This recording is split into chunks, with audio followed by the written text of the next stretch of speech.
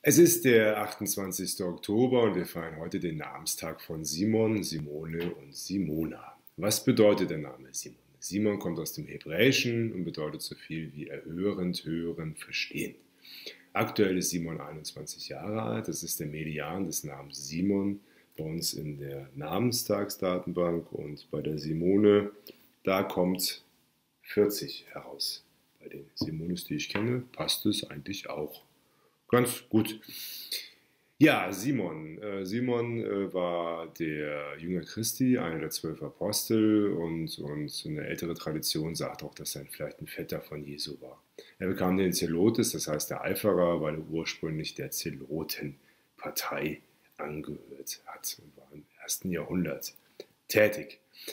Ja, welche berühmten Simons kennen wir? Wir kennen Simon Gossejohann, das ist der Komiker, Simone Lauder, eine Fußballspielerin, eine sehr gute, und natürlich Simone Tomalla, die Schauspielerin und noch viele andere mehr. Ja, wie man Namenstage einsetzen kann im Dialogmarketing, erzählen wir unter www.marancon.de und man kann die App auch kostenfrei herunterladen im App Store und bei Google Play.